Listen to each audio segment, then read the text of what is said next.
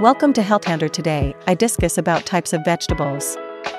First, I discuss what are vegetables. Vegetables are an integral part of a healthy and balanced diet. They come in various forms and offer a wide range of flavors, textures, and nutritional benefits.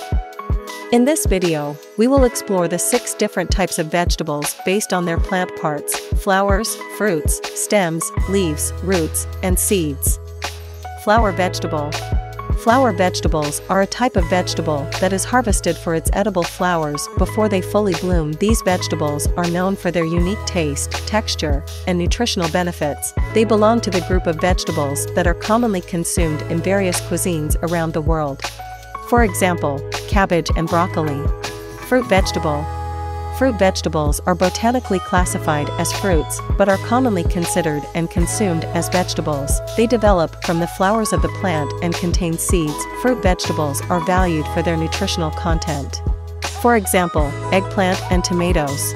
Stem vegetable, Stem vegetables are characterized by their tender and succulent stems or shoots. They are low in calories and high in fiber vitamins and minerals. Stem vegetables are often cooked steamed or grilled and can be added to stir-fry soups or enjoyed as standalone side dishes.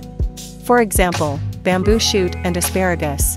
Leaf vegetable, Leaf vegetables, as the name suggests, are harvested for their leaves, which are commonly consumed. They are nutrient dense and offer an abundance of vitamins, minerals, and phytochemicals. Leaf vegetables can be eaten raw in salads used as wraps or cooked in stir fries and soups.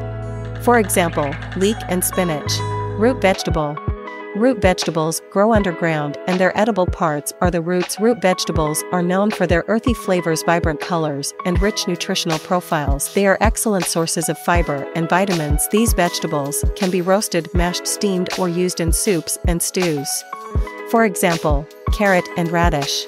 Seed vegetable, Seed vegetables are cultivated for their seeds, which are consumed as vegetables. Seed vegetables can be used in a variety of ways, including boiled, steamed, or added to soup stews and salads. They also serve as excellent plant based protein sources.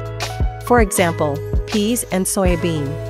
So, explore these six types of vegetables and experiment with new recipes to make your culinary journey both delicious and nutritious. If you enjoyed this video and want to learn more about healthy eating, don't forget to hit that subscribe button and turn on the notification bell so you won't miss any of our upcoming videos.